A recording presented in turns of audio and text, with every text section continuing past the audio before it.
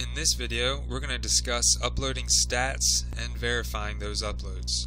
We're going to go ahead and log in. You would, of course, use your specific login information for your school. You must also have previously uploaded your game schedule because without a specific game to connect your XML game file to, the stats will not populate. You must have also previously manipulated the XML game file if needed.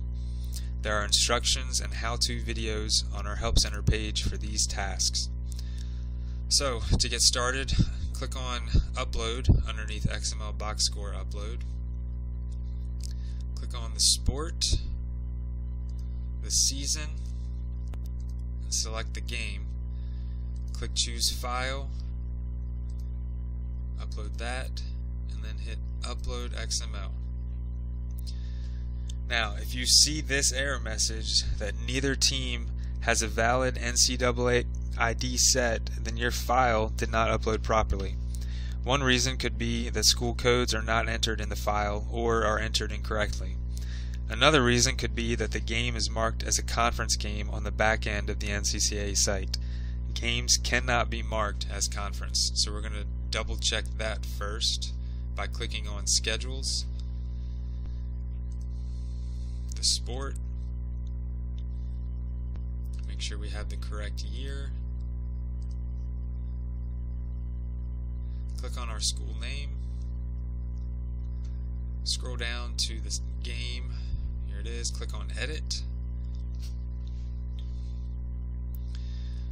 and then you can see here, count as conference, no. So that is correct. We want to leave it at no. We never want this marked as yes, or the games will not upload. So since that is accurate, we need to now double check our file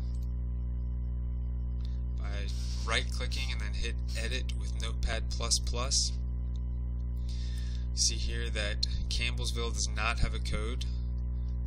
Scroll down, find Southwestern Christian, they also. So do not have a code. So that is our issue.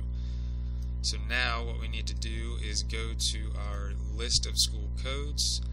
There's Campbellsville's. There's Southwestern Christians. Go back into the file. We're going to enter those codes.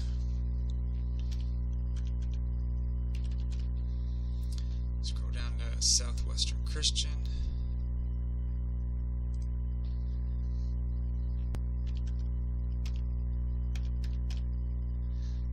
We're going to save it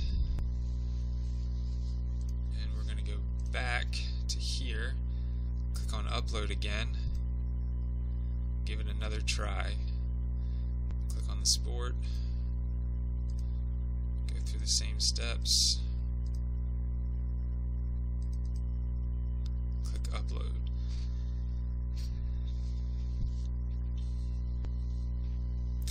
Okay, now this page would indicate a successful upload, but we're not done yet. We need to verify that it did upload properly. Also keep in mind that different error messages may appear. However, if any error message appears that's not related to the NCCAA ID set, the game most likely uploaded properly. So we always need to go to the stats page and verify if the game uploaded properly. So to do that, there's a couple different ways. Go to our website, hover over sports and click on stats, which takes you to this page, and then you would click on the sport that you're checking, or you can go to sports, click on our soccer division 1, click on stats, and then click on the year.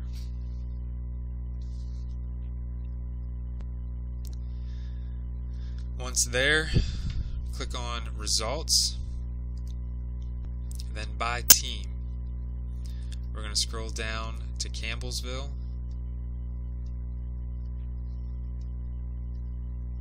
There it is, and there's the game that we just uploaded.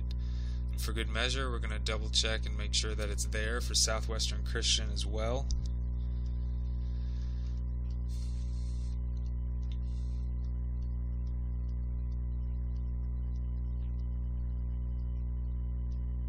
Southwestern Christian. There it is. The game against Campbellsville. Now, there are some unique situations that may require further instruction. Uh, you can see those by going to our Help Center page. Underneath Stats Reporting, click on Statistical Reporting. Then scroll down underneath Uploading XML game files and you'll see these three situations. Please read those and understand those. And as always, head back to our Help Center page for more information.